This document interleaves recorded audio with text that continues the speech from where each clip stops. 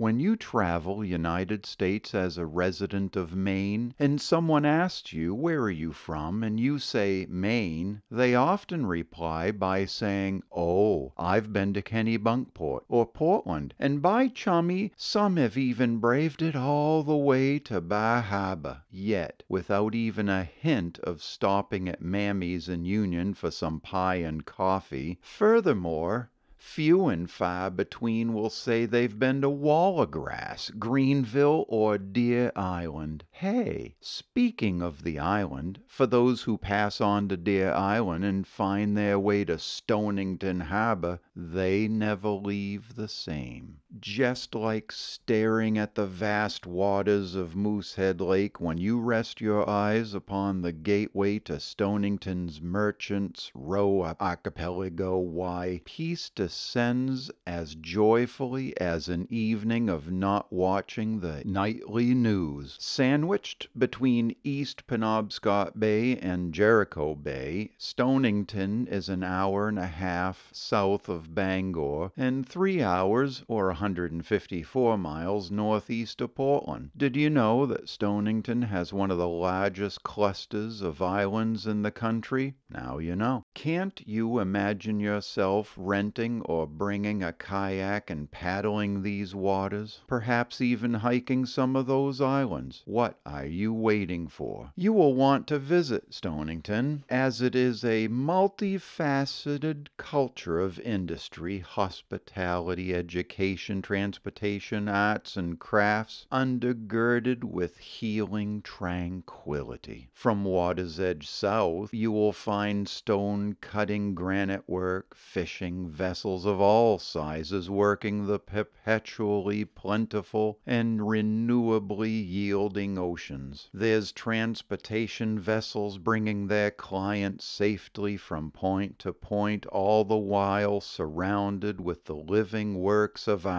such as the bald eagle, osprey, sea ducks, seals, and porpoises sharing this living vastness. From Water's Edge north, there's ice cream, plenty of restaurants and places to lay your head. There are a number of inspiring and intriguing galleries. You will love the ice cream shop, the antique and regional craft shops, Stonington Opera House. Then there's the Granite Museum, the popular Haystack School of Crafts. Then, of course, there's always the ice cream shop and the Historical Society Museum, gift stores, Dave's Guide Service, Sea Kayaks, Stonington, Osprey Echo, and don't forget there's always room you guessed it, for ice cream. Time for a confessional. As I write this in my mobile office here in Dyer Brook, Maine, I must confess eating ice cream last summer in Stonington was nothing like eating ice cream in Wichita Falls, Texas back in 1979. Why, even the ice cream at R&J's Market in Fort Fairfield can't compare to Stonington ice cream. Hopefully, this video thus far has answered the question, why on earth would I want to go to Stonington, Maine? Well, good for you. However, you may also want to consider visiting Bangor or Freeport. There you go. On the screen, there are links. Lastly, please hit the subscribe button and the like button. We'll see you on the next video. Thanks for watching. Yeah.